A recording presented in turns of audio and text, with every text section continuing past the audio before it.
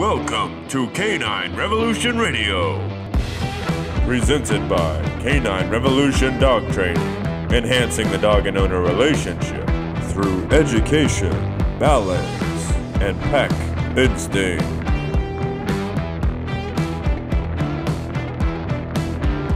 All right, everybody, welcome back to another episode of Canine Revolution Radio.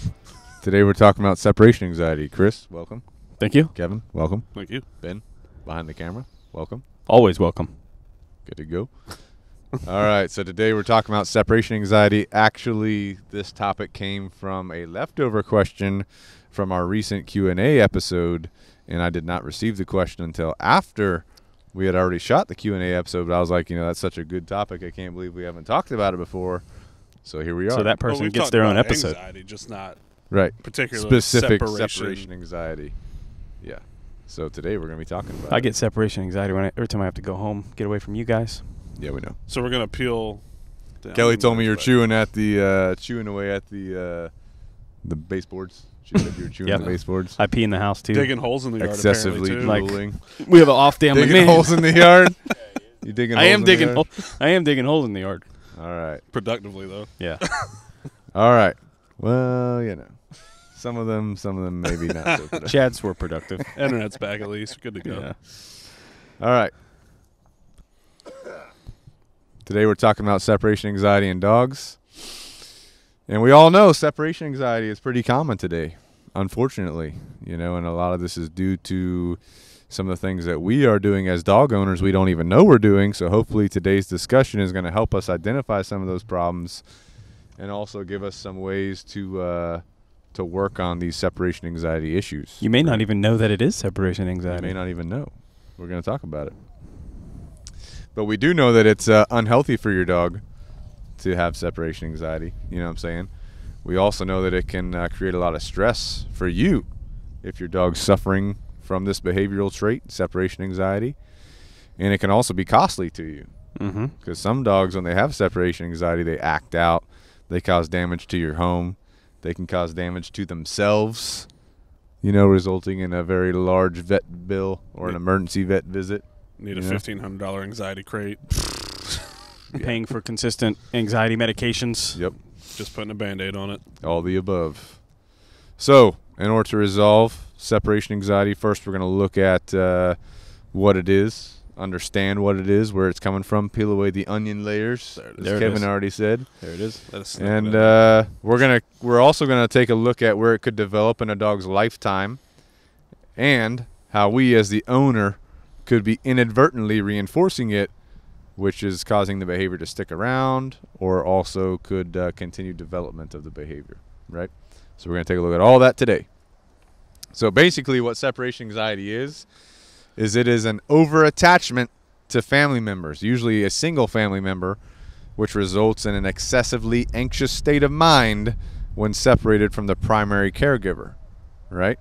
There can be different levels to separation anxiety as well. You could have a low level dog experiencing separation anxiety, and that dog could display, uh, you know, behaviors such as barking, howling, pacing, drooling, whining, uh-huh, or other similar behaviors when the owner is not present, right? So we've all seen this.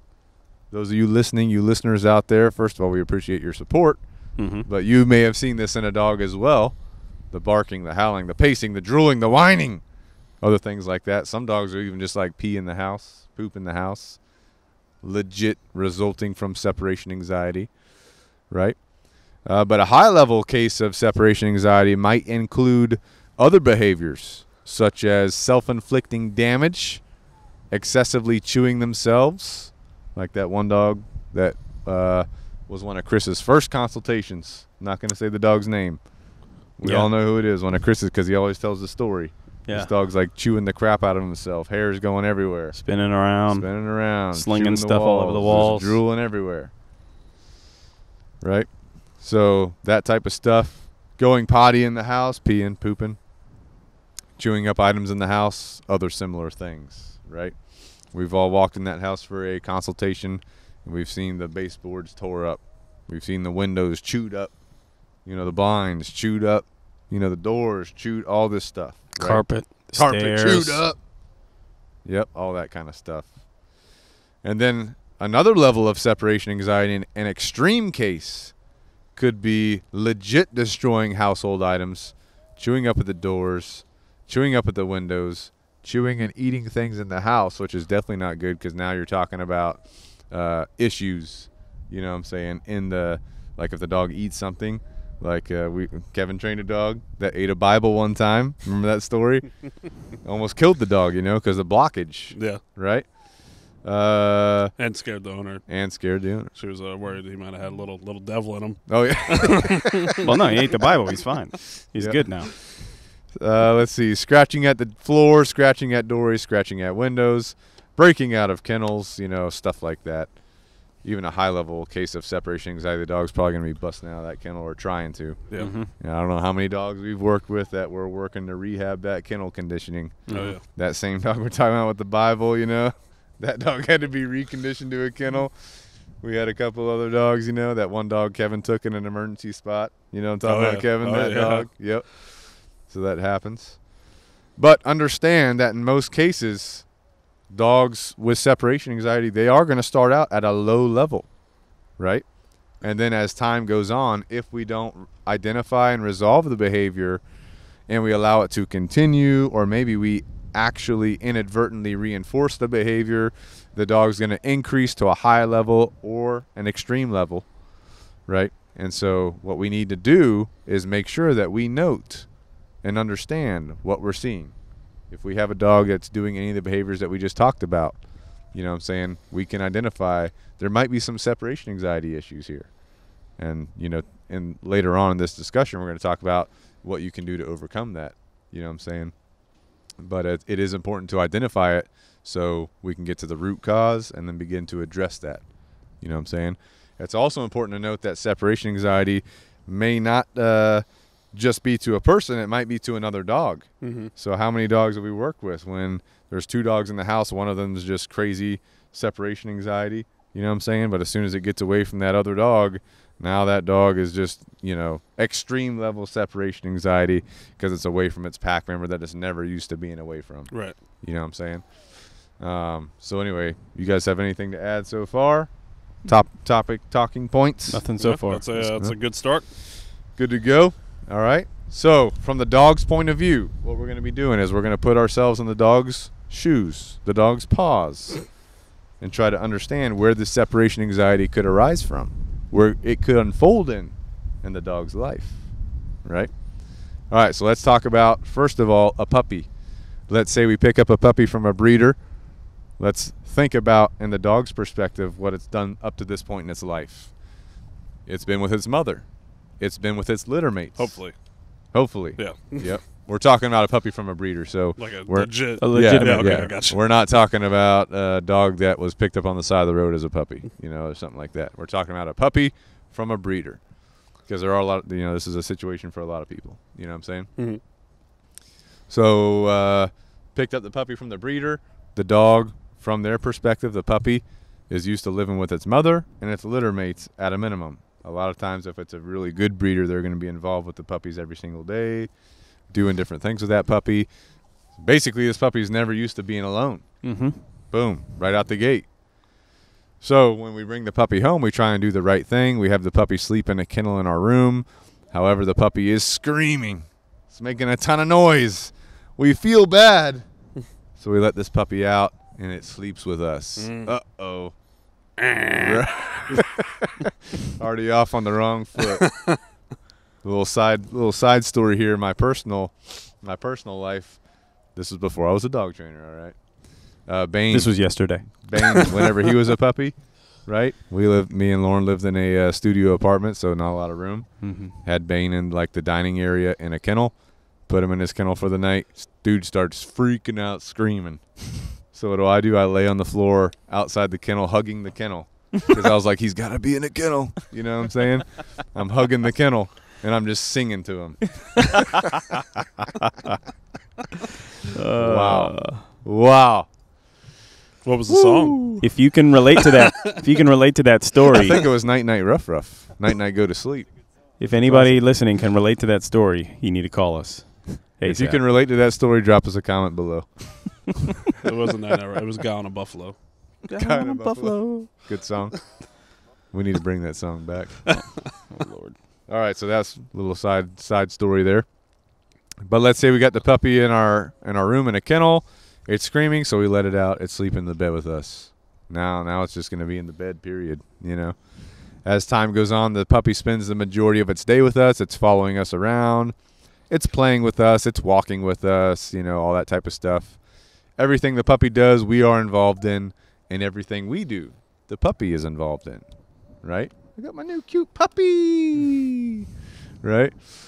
All the puppy knows in life is us and being with us. Life continues to go on. Let's say we go out to eat one day with some friends, and uh, we do it for a couple times, but each time we come home, we notice our dog has been drooling, but we don't think much about it. Right? Why are you drooling? It's just a bulldog or whatever. You know, it's drooling. Just what they do. Next time we go out, we leave the dog, we leave the puppy. We can hear them howling and barking inside as we leave. Hmm, they're missing me, you know.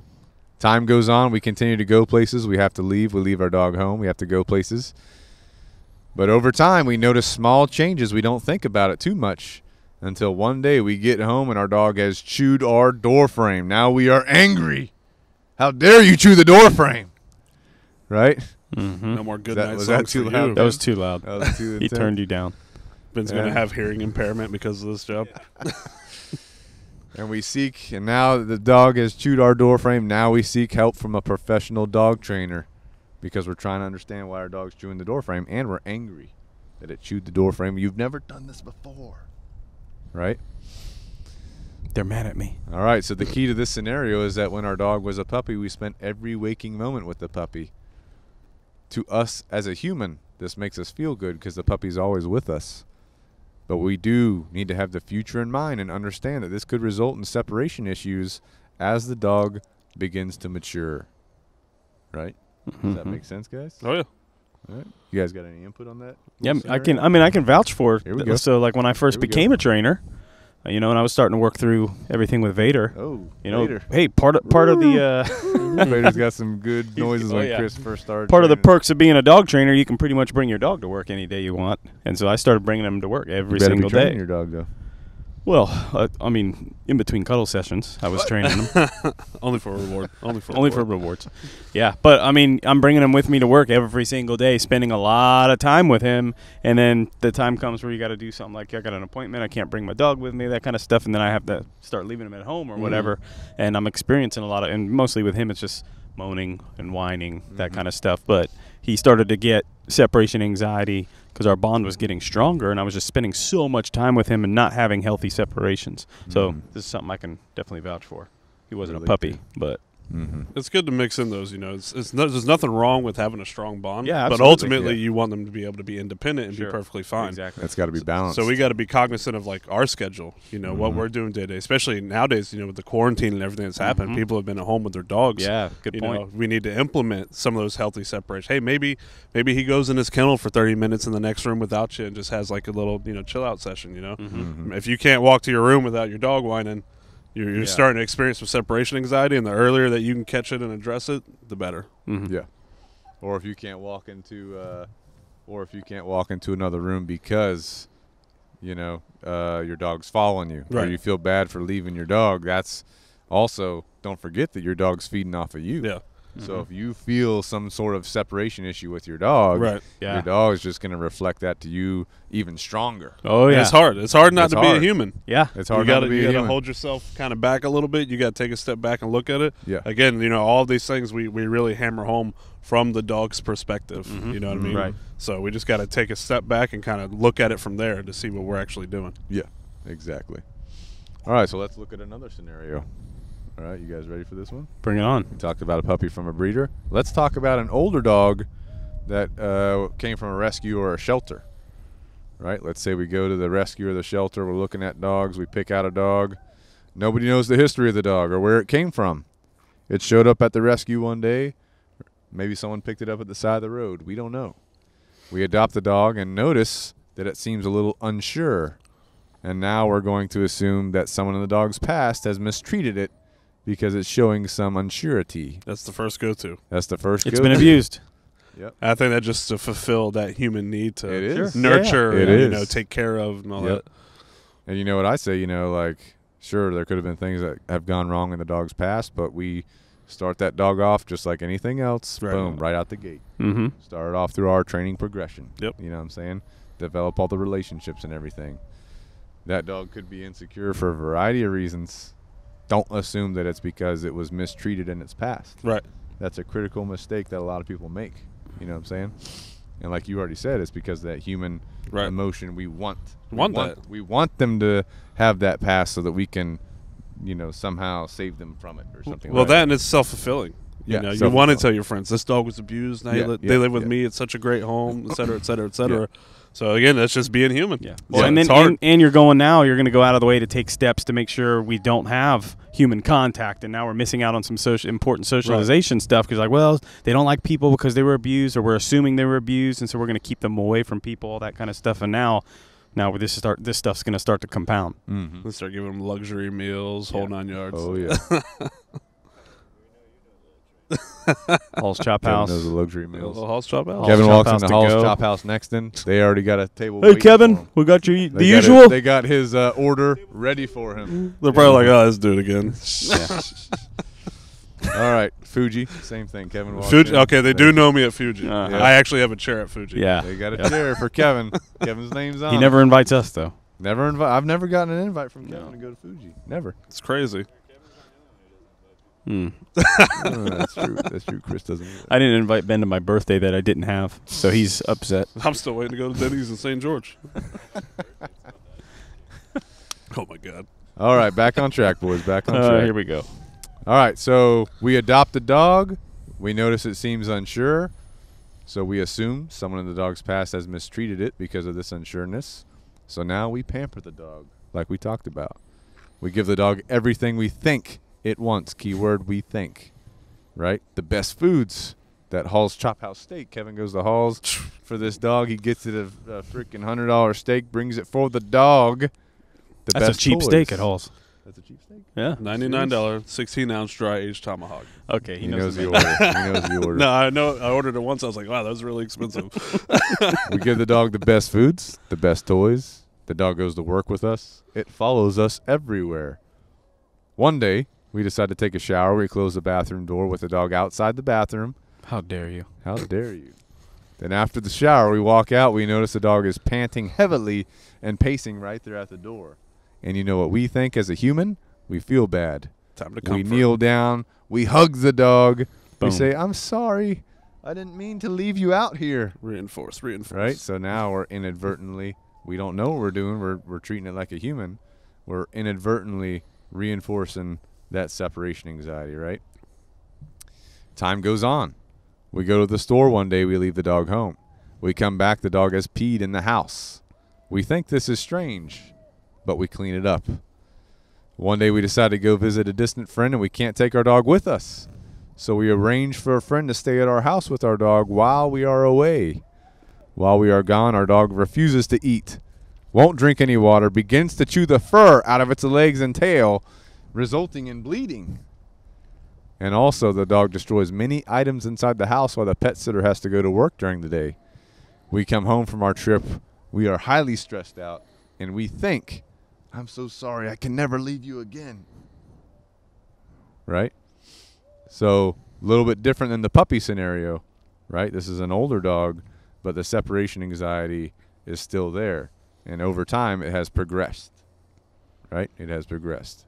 So, in both of these scenarios, we inadvertently create and reinforce the separation anxiety, the separation anxiety ourselves. In both scenarios we just discussed, we have inadvertently, right? We did not do this on purpose. We didn't really understand, right? As the owner, we inadvertently created and reinforced the separation anxiety. And this occurs frequently because we subconsciously treat the dog like they are a human and we simply don't have enough experience to understand their canine communication style or what they need as a dog. And that's where we come in. Canine Revolution, here to save the day. right? All right, you guys have any input on uh, that story or anything up to this point that we're talking about? Separation anxiety? Oh, No. good. No, good to go. Covered wow. the human aspect. Wow, good to You- go. I mean, I mean, you- you're thorough. You're thorough, man. You're you're uh, not leaving us any room here. expert interactive style. Yeah. we talked about in one of the other podcasts. All right. So now that we've identified a couple scenarios, we've identified that hey, for the most part, separation anxiety, we as the owner are inadvertently, you know, reinforcing it. We're not helping resolve it. We're inadvertently reinforcing it. Now let's look at some ways that we can resolve this unhealthy behavior and ensure the best life possible Turn it down. Turn it down. for both our dog and for us. Sorry, I He get had a his headphones off that time. I so get a little good. amped up. if you, as the listener, if you have not noticed by it now, sometimes I get amped up. I'm a little bit passionate. We call it passion. Exactly. I'm a little bit passionate about this stuff. All right. so let's look at some ways we can resolve this. Number one, ensure that we provide a balanced lifestyle each day that will fulfill our dog's basic instinctual needs of mental and physical exercise. Boom. Talk about this all the time, right? Our dogs need to balance out their energy daily, both physical and mental energy, right? We all have it. So do our dogs. The worst thing we can do wake up, take our dog out to potty, leave it in the house. We go to work all day. We come back. I'm tired. I don't feel like walking, right? Our dog remains in the house. We let it out to go potty. Maybe we toss the ball like three times, you know, bring the dog back in the house. If that It's horrible. Not good. sedentary lifestyle. Sedentary lifestyle. So, some things that we can do to help uh, achieve this mental and physical exercise with our dogs. Number one, obedience training. This can help to achieve our our dog's mental uh, exercise while walking or running or like structured play. You know, these are things that are going to resolve that physical exercise. So, two walks per day that are about 20 or 30 minutes each should be plenty of uh, ex- physical exercise for your dog. I would say at a minimum. You know what I'm saying? Um, but if you have time and are able to do more and you want to do more, obviously do it. Don't Yeah. limit yourself to just two 20 minute walks. And we all know there's dogs out there that this is not going to satisfy that physical exercise need. Mm-hmm. We work with dogs that have very excessive energy levels every single day. These dogs need more stimulation than the average dog.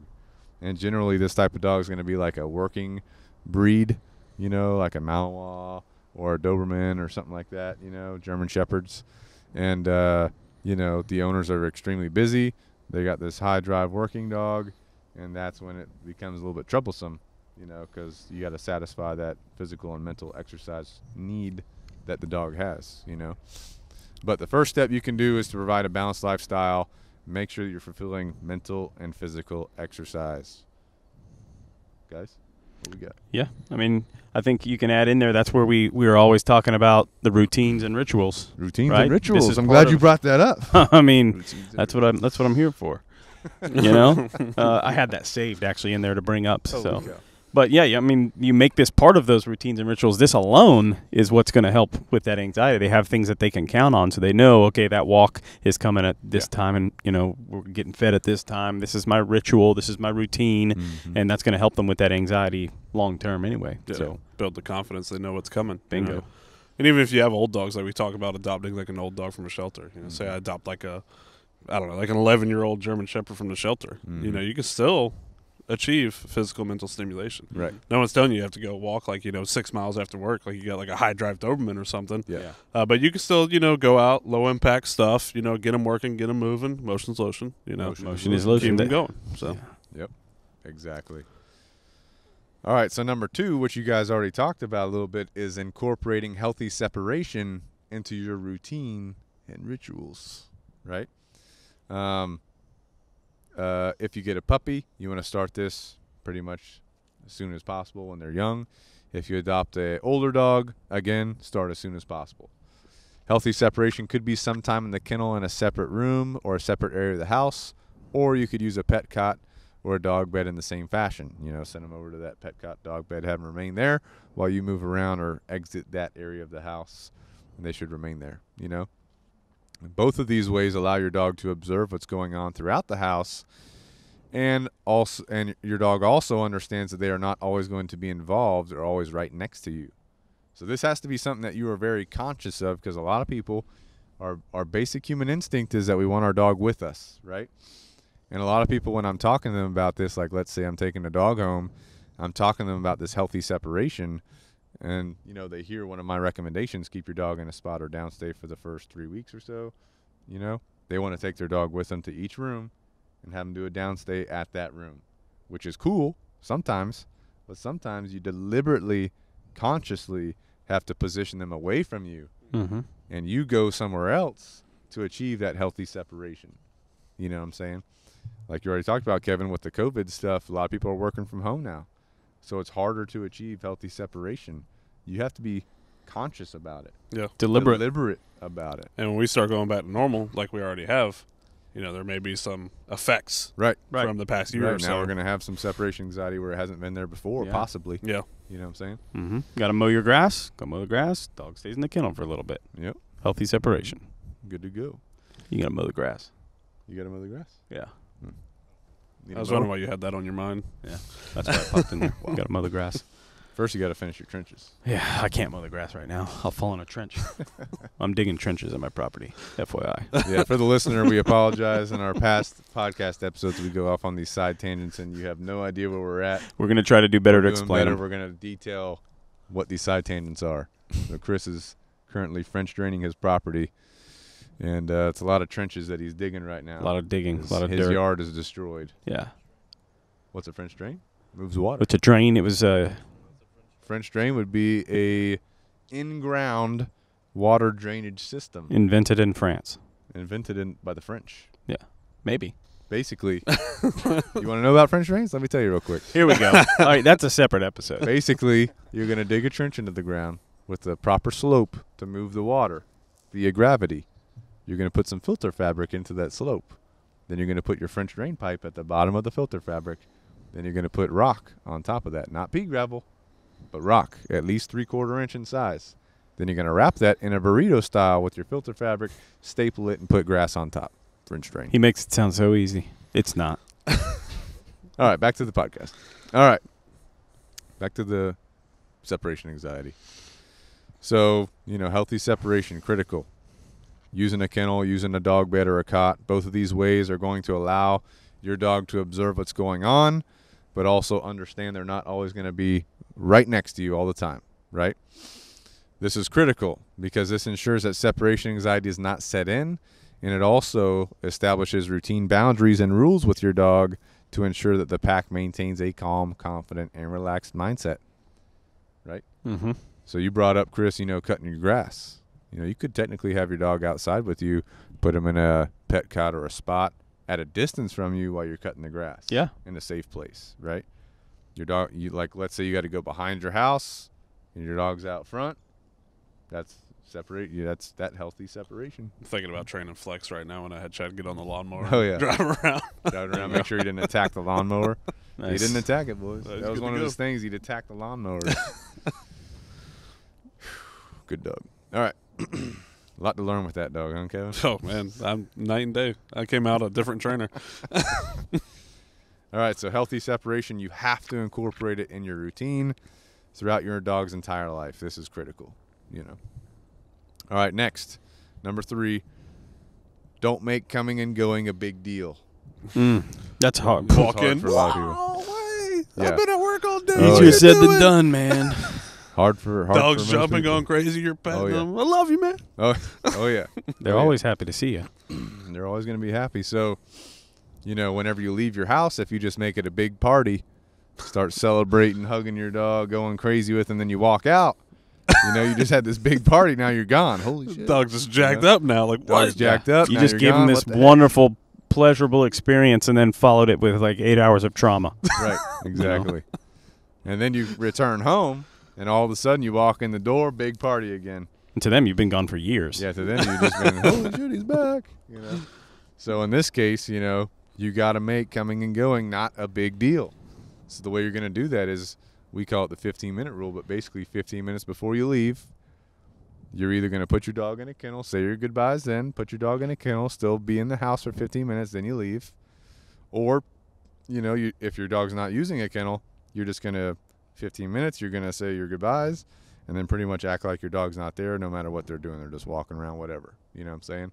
Then you just walk out the door whenever it's time to go. Same thing when you come back home. You come back home if your dog's in the kennel, you ignore them for 15 minutes. No talk, no touch, no eye contact. When 15 minutes is up, or if they're super calm, then you can walk over, let them out, that kind of thing. Uh, or if your dog's just kind of free free roamer in the house, you walk in the door. They're going to be super excited that you're there, but do not be tempted. No talk, no touch, no eye contact for 15 minutes. That way your dog can calm down, and coming and going cannot be a big deal, right? Yeah. So that's super hard, you know what I'm saying? But it's super important, right? Um, and by doing so, this is again going to help maintain the proper balance of energy and mindset in your dog and in you too. Because, like we already talked about, a lot of the cases of separation anxiety is due to us feelings. You know, we're we're separating from our dog. We're like, oh my gosh, I have to leave you. I feel bad. You know, that kind of thing. That just makes that separation anxiety even stronger from our dog. You know what I'm saying? Mm-hmm. You guys got anything to add? Yeah, I mean, bottom line, like you don't have to feel bad if you're doing everything you need to be, be doing outside of this stuff. You know, what I'm like you're giving them the mental, physical stimulation. Like I, I feel there's no issues when I'm leaving my dogs because I know I'm doing what I need to as a responsible dog owner. Right. Uh, so there's no like I'm not just sitting here right now thinking, oh my gosh, what are my dogs doing? They miss me right now. I Yeah, miss them. yeah. You know what I mean? I know I've, I've worked them, got their work in this morning, gonna get some work in afterwards, that kind of stuff. Um, and then you'll you'll notice you make this part of your routines and rituals, right? Mhm. And your Mhm. dogs will will start to like that 15 minute window will start to kind of shrink a little bit. Like Yep. for my dogs, it's usually 60 seconds. They're free roaming. I come home from work, of course, they're a little anxious to see me. I don't even co- I don't I don't cross the threshold of my door. My door's cracked. I see boop boop boop, three noses popping or whoop whoop whoop, getting excited. I say go spot. They go to their spots. I walk in. From there, I, I ignore them, and usually within 60 seconds, they're nice and calm, nice, calm, relaxed, and then I'm not reinforcing any any bad mindsets or anxiety, things like that. So hold to this stuff, and that's what's really going to treat it. You know, That's the thing too. Be aware of the mindset. yeah. Right. So if you're say you're battling something like you know you don't like your dog jumping on people. Well, when you come home and your dog's amped up Oh and jumping gosh. on you and you're Bingo. petting him and loving on him, you're just encouraging that behavior. Bingo, yeah. So they're not going to re- be able to really know the difference between oh, it's okay to do it when you come home, but not okay to do it now. At least not without some like serious work. You Yeah. know what I mean? Yeah. So it's better just to interact with your dogs when they are nice and calm, especially if you're dealing with things like this, insecurity, anything, to help Mhm. overcome and rehabilitate those mindsets. Yeah. And like Chris already talked about, you know, if uh, if you feel bad because your dog's at home, you know, while you're at work, or you feel bad because you weren't able to take your dog out, you know, because you're out hanging out with friends or something like that. The way to not feel bad is by fulfilling those basic needs. Right. Making sure that you get in mental and physical work with your dog before you leave for the day, and then whenever you get home, again fulfilling mental and physical needs at a minimum. What we talked about. You Maybe if saying? you if you if you have that feeling where you're feeling bad, That means search you're not doing search it. a little deeper. There's something else doing going on inside. You're and not you know doing what? You know what? You know what? What? Sometimes, you know what? Sometimes you may have to wake up early. What? Whoa. Mm. Ooh, you may have. Holy cow! You may have to wake up early I don't have time. to make sure that you can fulfill. I don't have time in the day to, to, make work sure my that you can fulfill your daily mental and instinctual needs. Quick story. Quick story for you guys. I don't Oh, think I told you. Someone texted me the other day. They said they're running out of time. They're running out of time in the day. They wake up at 5:40 a.m. That's lunchtime. They're they're running out of time in the day because they wake up at 5:40. They have to hurry up and go to work. You know what I told them? You want to know what I told them? I do. I I, I probably know what you. I told them I wake up at 3:40 a.m. so I can make sure I get enough time in. We had an hour of trench digging done by 5:40. 5:40 we were already done with digging trenches for an hour. Yeah. Easy. Easy day. Let me just and take then, what you said, then turn we, around, then we went to it back at lunch. Then we went to lunch. Went to lunch. It was No, no, no. breakfast. Breakfast? No, no, no. We ate dirt for breakfast from the trenches. That's true. That is true. Back on track here, though. you might have to wake up early, earlier than you used to waking up to make sure that you can fulfill those needs. And that's So hard. for me. It's hard sometimes. For me, I have to get up at 3:40 because number one, I like to work out. I like to go to the gym, unless I'm digging some trenches. That's Right? kind of like a gym. That's, is. that's a full body. It is. So I like to work out. If you want to see that workout, you can check out our YouTube video, Day in the Life. I'll show you one of my workouts, chest workout. Uh, when are we posting that, by the way? Posting that within a week. So this podcast will come out after it. Yeah, yeah. Yeah. So uh, check out that video if you want to see some workouts. But, you know, me, that helps me with my physical energy and my mental energy too, personally. Mm-hmm. But then I have to go home, you know, got to take care of my kids, you know, got to make sure I fill my dog's mental and physical energy as well. So for me, I just have to identify that I got to get up at 3:40 a.m. when most people wake up to take a piss and they're like, I get three more hours of sleep. That's me. You know, I'm waking Si- up. I'm a to 6:30 get guy. up after, get up, get after it. You know, but I, I just use that as an example. Obviously, that's kind of extreme for most people, but I use that as an example because I didn't always get up at 3:40. I used to hate waking up early. Over time, I woke up at 6 a.m., then 5 a.m., then 4 a.m., trying to make sure I could get all these things done. Now Eventually, he's just not going to sleep. Oh, no. Eventually, it's going to be 2 a.m. I've been getting earlier and earlier. I think this is happening It now. happens. That's what happens. Yeah. Hey, Yeah. I'll do it. I'll do it. No, there will be no going to bed. It's just I'm just. up. if, uh, if he didn't have to go to bed, he wouldn't. He's conditioning sleep out of his life. He Bottom just, He line. lays down like a vampire in a coffin, just goes to sleep. He just sits up at 3:40. Bottom line, make sure that you get that mental and physical exercise and to fulfill your dog's basic needs. Yeah. There's no excuse. Mm-hmm. You know what I'm saying? Yeah, maybe you're not. Maybe you're not a morning person. I get it, but maybe, guess what? You got to stay up a little late then. Yeah. Yeah. Get it in. You can get That's into the thing. you You- It's it's all balance. You can get it, you know, whenever you need to. Yeah, yeah, yeah. You know, think back to when you were a kid and you found a stray dog on the road. Dad, can I keep it? Mm-hmm. This is a responsibility, son. Mm. With talking, great talking about my own father here. With power comes great responsibility. Dogs are a responsibility. You got to feed it. You got to walk it. You got to do. You know. So even then, we knew the bare bones basics. You know. Mhm. Yeah. So Yep. you, some dogs, sure, you can you can probably have, and they're just good to go. They may be like lazier. They still need some They bare still need bones it. basic maintenance. You know. Some level of it, they still need it, you know. All right, off the tangent. All right, but the three points we talked about, the three points were providing a balanced lifestyle each day that fulfills our dog's basic needs of mental and physical exercise, incorporating healthy separation in your routine and ritual, and then don't make coming and going a big deal. Those three points are the proper foundation for ensuring that we don't allow separation anxiety to be a part of our dog's behaviors, and it keeps our entire pack in good mentality, good energy state, right? And other, the other thing too is like walking your dog or hanging out with your dog. That's going to satisfy some of your mental and physical needs as well. Mm-hmm. You know what I'm saying? Walking them, hanging out with them, teaching them something or maintaining your your obedience behaviors. That's working you mentally because you know you may have to help your dog through a certain situation or help teach them something new. Play some brain games with them. Play some tug. That'll work you physically. So it's going to be physical, very physical. You know, Nice cardio session. good cardio. But all right, so that's a good discussion on separation anxiety. Um, obviously, there's some other things too that could be considered, and obviously, there's some very, very extreme and special cases when it comes to separation anxiety, and we've dealt with them here. You know, very extreme cases. Um, so if you guys do have a question, drop it in the comments below. Reach out to us via email, text, messenger, whatever. You know, let us know. Carrier Um, pigeon mail. But I do want to take a moment and thank all of our listeners. I just learned the other day that we have some dog trainers in Florida listening to our podcast. You know, we got Nice. some feedback from, Aren't you going to Florida here shortly? uh, you know, Might be taking a little my will. vacation. against my will.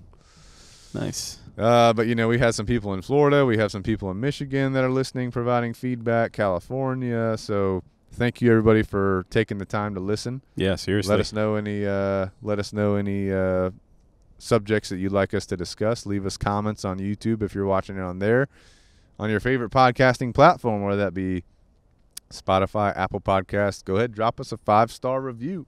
Let us know how we're doing. Five stars, right? Give us some topics. Give us some comments. Good to go.